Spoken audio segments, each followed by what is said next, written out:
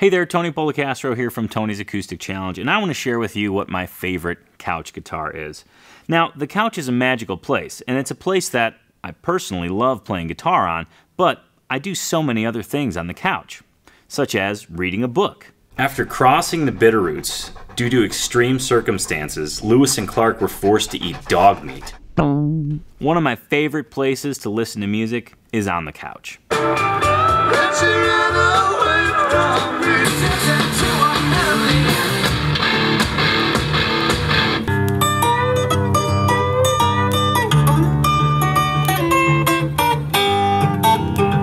When I get in a tiff with my significant other, usually I end up on the couch.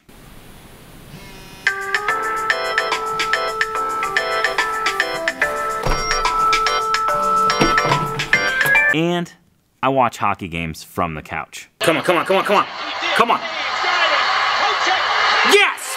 Yeah, that's what I'm talking about. Oftentimes, I even sit down on the couch and try and learn something new. My beard, two, three. Rub it in my fingers here, rub it in my hands. I like to come across the front, down the sides, run my hands underneath in here like this.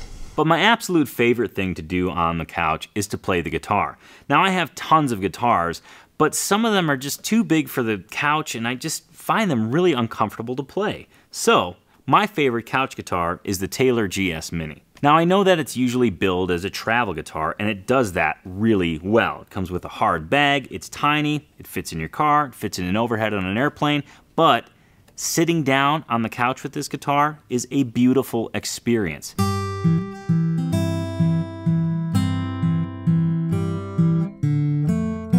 It's small, like I mentioned, so it's super comfortable. It has a solid Sitka spruce top, so it sounds absolutely killer. Underneath the hood, it's X-braced and it has Taylor's relief rout, which means it has incredible volume for such a small guitar, and its playability is top notch. It has a slimmer neck, super comfortable guitar, and it just frets oh so nice. And did I mention it sounds good? Because it sounds absolutely amazing. This is the most unassuming guitar on the planet. It's tiny, but it packs a huge wallop. Fact, I think this guitar is so cool, I want to give you one. I, I truly, I want to give you this very one.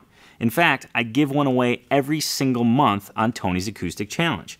Now, what is Tony's Acoustic Challenge, you ask? Well, it's the best place for beginners through advanced players to build their skills so they can become a well rounded player, learn songs so they can build their repertoire, and build confidence so that you can play those very songs that you've learned for other folks. So I really want you to check it out because I think it is the thing that will help you enjoy your guitars even more.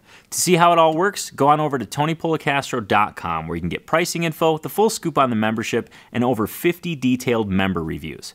And since I have you here, I've made a separate video which is a detailed walkthrough of the members area. If you're interested, go ahead and click on it.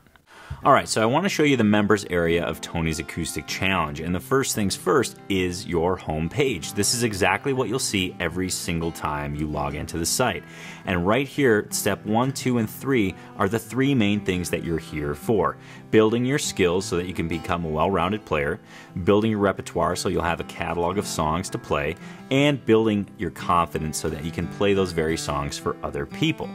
But getting around your homepage is really our first step here. So let me just show you a little bit of what is here. So if I scroll down,